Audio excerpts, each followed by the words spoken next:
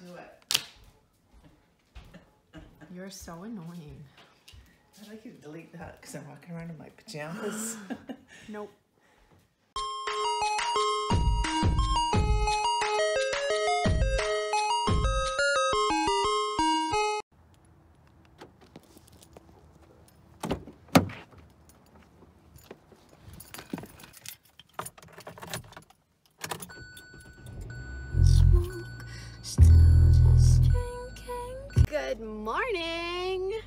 Welcome to another reading vlog. It is currently October 1st, 2021 because I have not filmed a vlog in a thousand years, but William is not coming home from Oshawa. That's a whole nother story. My boyfriend moved to Oshawa, which is like two hours away from me, but it's fine. I'm fine. But he's not coming home this weekend, so I have a lot of spare time to actually read. So we're doing a reading vlog. It is currently 6.35 uh, a.m. I'm about to go to work. I start at 7, but I like to get there at like 6.45 just so I can sign in all my staff and check their COVID screenings, blah, blah, blah, because I'm the supervisor. You guys didn't know since I haven't uploaded in a thousand years. I am now a supervisor for early childhood education, a before and after school program. I absolutely love it. It is my favorite thing in the whole wide world. My staff are incredible and my children are my favorite thing ever. They're so sweet and just little angels. I'm probably not gonna film too much today. I'm not gonna film when the kids are there. The kids are there from 7 a.m. to 9 a.m. and then from 9 to 11 I'm doing like administry stuff administrator stuff. What is it called? Administrator, I think. And then I believe the program lead that I'm taking over for is coming down to show me how to do subsidy because that is due today as well.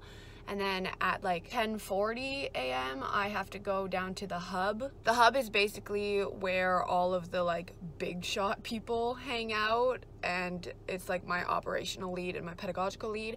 I have to go drop off my visa because you have to like break down all the money that you spent for the program for the month and my mileage, so how much I drove around because we got paid to drive. Like this job is a big girl job. I love it. But I have to go drop those two off at 11 a.m. specifically and no other time, which I don't really know why because we literally just put it in a Dropbox in the front foyer. So I don't know. I gotta go do that. And then the reading will commence and I will update you guys on what I am reading. But I gotta go drive because it's, I'm gonna be late if I don't stop talking to you guys. Okay, have a good morning. I'll see you guys later.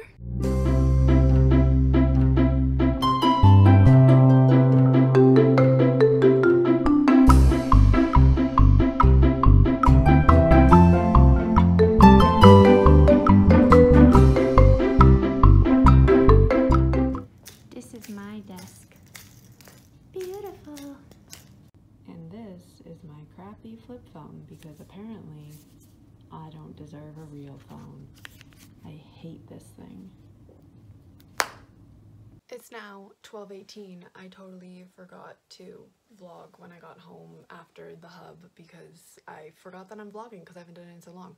But I'm currently changing over my calendar so I have to write in all of the stuff that I have to do, which is pretty much just work. I don't think I have any like appointments or anything like that yet. It's literally just work every single day except Saturdays I have off. But other than that, working full time. Your girl is a full-time worker. But I'm also going to film my September wrap up today, I think. And then I'm going to start reading after that, which is when I will update what I am reading. Do you guys see my schedule? It's literally completely full, except Saturdays. Except that Saturday, I have to work. But this is so much working, and I don't want to do it, but also I need money.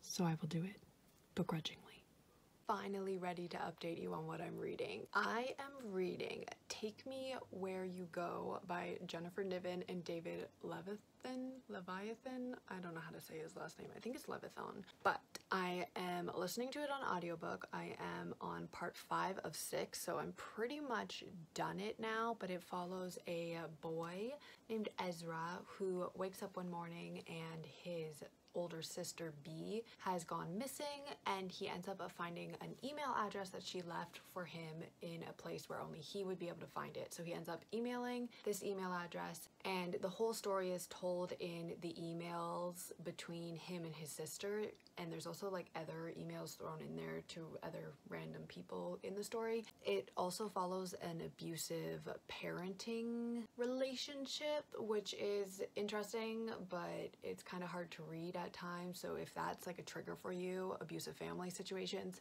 don't pick this up. But I'm enjoying it so far. I think it will probably be a 3 or 3.5 depending on how it ends because I am very intrigued to see how it does end because right now the siblings have been separated this entire time. So I'm kind of wanting them to get back together. You know, we don't like runaways. We want them with their families, but also not in an abusive situation. So hopefully it ends like happily, but I guess we'll see. But it is now two o'clock. I have to go back to work at 2.30 till 6 and then I'm off for the rest of the night. Mom and I are gonna go grocery shopping so I'm sure there will be some quality car content which I have not done in such a long time and then I'm off Saturday, so there will be a lot of reading.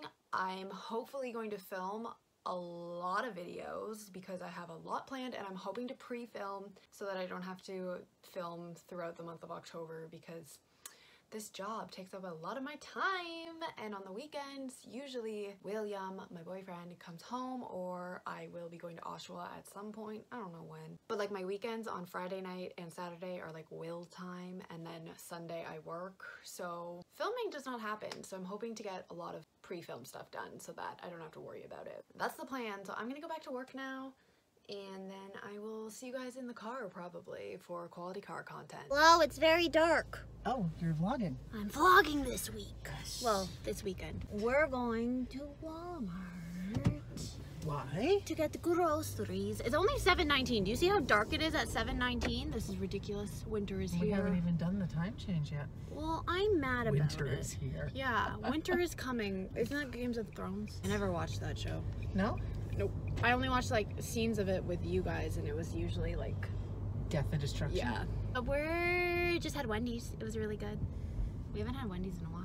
I was too lazy to cook. Yeah, that's the update on our life. Uh, Wendy's groceries, it's dark out. That's it? That's all you got to talk about? My afternoon shift was a shit show, uh, but I got it figured out, so we're okay. Were you vlogging this morning? Yes. Oh, okay. You didn't see it though? I didn't see it because I was fast asleep. Yes. And yeah, that's about all I got right now. That's it. Yeah. What do you have to say? How was I your have a new lawn. Yeah, mom redid our whole lawn, so we got it Front all back. teared up and then all And put I- back in. And they left the bobcat on our lawn, and I really wanted to go in it, but My guess is they deliberately took the keys. yeah, but I just wanted to sit in it. But I well, thought, you could have sat in it. Well, I thought that that wouldn't be very responsible. Do you think it wouldn't be? But But I was like, ooh, photo op. But I didn't But you do didn't. because I'm a good girl. But mom got gardens now, so I she's very excited. gardens and I have a lawn and I spent the whole week watering. That's all I've been doing is watering and soaking myself, Well, you're retired, so trying to figure out. yeah, I said it. I said what I said. You got nothing else to do. See, oh, you piss me off when you say that. I'm not gonna get into it with you. Hello, good morning. It's now Saturday. I'm literally just waking up this second, but I need to go shower. And then the plans for the day are to read Defy the Night by Brigid Kemmerer because I finished the other book that I was reading that I can't remember the name of. I think it's like Take Me When You Go. I gave it a 3.5 out of 5 stars, I think, but it was enjoyable. It was a good time. The ending was satisfactory. But like I said, I'm gonna go shower and then I'm gonna start Defy the Night, which is like a new fantasy series. I never read A Curse So Dark and Lonely, which I have the first book over there, but I have not read that series yet. But a lot of people do like it. This one is a new fantasy series and it's about this kingdom where a deadly sickness is going through it and there's two brothers who are like the king and the king's justice. So he's like really ruthless. His name is Corrick. And in order to rule, they've had to put down like an iron fist basically because their parents died and then they were appointed king and king's justice. But there's been rumors about a rebellion starting by a apothecary apprentice named Tessa who secretly steals moonflower petals in order to make an elixir to try to stop this illness, but the moonflower petals are really rare, so they decide that they are going to break into the palace to steal these petals in order to make this elixir to save the kingdom from this virus. And I'm assuming they get caught, and I'm assuming that Tessa and Corrick are to become a thing. I don't know though, I'm literally on page two.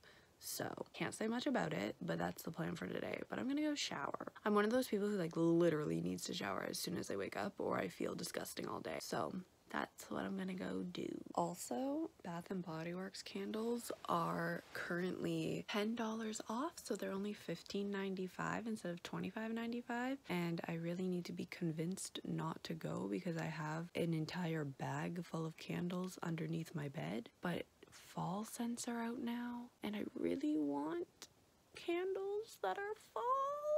But I don't need them, so I'm not gonna go. But I might end up going. But I'm not gonna go, but I might. You know that like meme or what is it called now? TikTok? I was gonna say Vine. Show your age. But the TikTok that is like, girl, I'm not gonna do it. Girl, I did it. That's gonna be me today. But I'm gonna try to make it not me. But I make no guarantees. I'm like on page 95 of this book. And I think I have it figured out. And I can't tell you guys what it is I think is true because that'll give it away, like the entire book and the whole concept of this book. But I'm pretty sure I'm correct. And I don't know if I want to be mad about it because it's so obvious or if my brain is just superior and is able to figure this out. But I'm going to update you guys if I actually am correct. And I'm very excited if I am. I was correct and I am so excited for how this book is going to progress from here. I'm really liking it. Like honestly right now it's a 5 out of 5 stars and I'm only on page like 120. So I only have this as an e-arc and I kind of want to go buy a finished copy if it continues to be this good because I want it on my shelf. And the cover is also really pretty so I just want to like display it because it's so pretty. But I need to pause because I need to go film my second part of my September wrap up my October TBR I'm probably gonna do like a thriller recommendations video because I do that every year as well as a spooky book recommendation video. And then my mom actually wrote a tag like three years ago called the murder murder stabby stabby tag and I've never filmed it and she asked me like every single October to do it and I never have. So I think I might actually film that today. And I also have like four hauls that I should probably film and just a lot of pre-filming to do. So I think we're gonna start that process now. I'll probably only be able to get through like two videos before my camera dies because it dies so quickly because I never stop talking and I just ramble on. So my videos that are end up being like 10 minutes long take me like 40 minutes to film because I just never shut up. We're gonna go film and then listen to more of this book because I'm obsessed. So I have filmed my October TBR, part one of my September wrap up, and my thriller recommendation video, but now my camera has to charge. So we're going back to reading. Defy the Night, Brigid Kemmerer. I am now like 202 pages into it. I'm obsessed.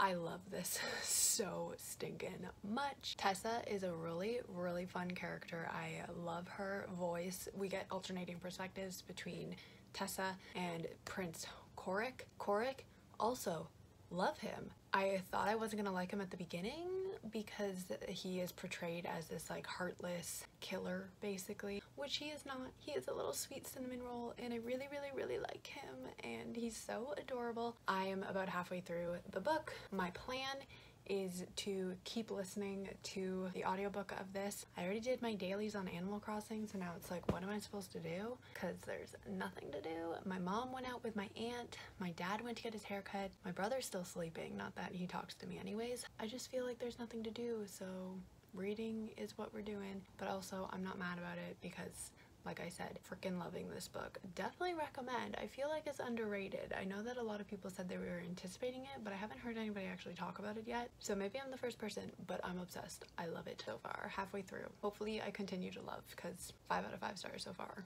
So it's now 6.30 and I've spent the past like two hours talking to Will on FaceTime and uh, he told me to tell you guys this. We were in a fight, but I whipped him back into shape and now we're good again. So I have not really done any reading since then. I am on like 275 of Defy the Night. Uh, still obsessed. Definitely going to be a 5 out of 5 stars. I did not go to the Bath & Body Works sale. I did good. But then mother walked into my room because I finished burning a candle and I pulled out all my candles under my bed because there's like 50,000 of them. And I have absolutely no fall scents. They're all winter or summer. So mom's decided that tomorrow when I'm done work, we're going. So I was successful today, but I'm gonna end up failing because mom says we're going and I do whatever my mother says. So I tried my best, but my best was not good enough. Hello, it's now Sunday. I'm hoping that you guys will be able to hear me. It's raining outside right now, so I'm waiting for it to like die down a little bit before I go into my house because I just finished work. It's like 12.50. Mom and I are gonna go to Bath & Body Works even though um, I said I wasn't gonna go. She convinced me to go, so we're going. But I figured I would update you guys on Defy the Night by Brigid Kemmerer.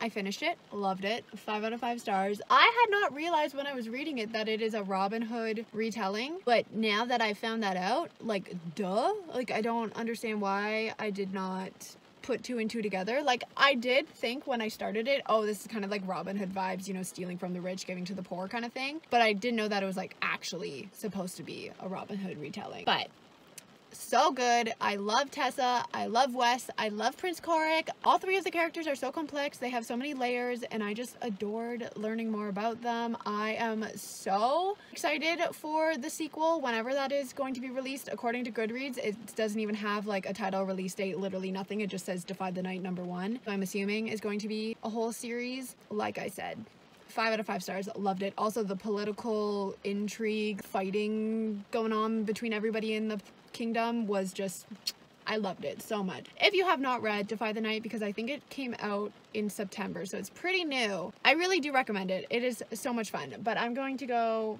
run to my front door now and hope I don't get soaked. And then we're going to the mall. Look at the toy mommy got. show them, show them. So I don't have to pound them with my feet. Wow. Isn't that exciting? Want to try it? So much fun. Is it really hard though? No, just use two hands. Oh, that one crushes easy. I know. Some of them do, some of them don't. Bring me my bounty. Bounty? Yes. Are you all ready for this Bath and Body Works candle haul? First up, it is Marshmallow Fireside. This one is Mother's. It's not mine. Mom bought three, and I bought four because I have no self-control. Except four is pretty good for me because usually when there's a sale, I buy a thousand. And then I got High Pumpkin Pumpkin Spice Latte. Pumpkin pie, spice, freshly brewed espresso, homemade whipped cream. This one is mine. This one is toasted marshmallow, smoldering woods, fire roasted vanilla. How would somebody know what smoldering wood smelled like? Like, did they set the wood on fire and then they're like, ah, yes. Quite possibly. And then pumpkin vanilla cream is fresh pumpkin, vanilla cream, and nutmeg. This one's mine. It's like a magic bag of tricks. It's like Mary Poppins bag. What will she pull out next? Vanilla pumpkin marshmallow, Tahitian vanilla pumpkin spice homemade marshmallow. I spent 72.09. What's next in the bag of tricks? Pumpkin pecan waffle. This one's mine. This one, my mom, for the past like two years, there's one candle that's called pumpkin brittle, pumpkin peanut brittle. It's the one that I've wanted for the longest time. And so my mom went to surprise me and she ended up buying me pumpkin pecan waffles. Yeah, and then for Christmas, she got me another one because she thought that it was the pumpkin brittle one and it was not. It was this one. But now it's one of my favorite smells, so I'll take it. But it's maple syrup, golden waffles, and pumpkin spice. Yeah, you also got a pumpkin vanilla cream. those are your three. Last one is mine, and it's salted butterscotch. well apparently I like marshmallows. Yes, it's brown sugar, sweet cream, sea salt.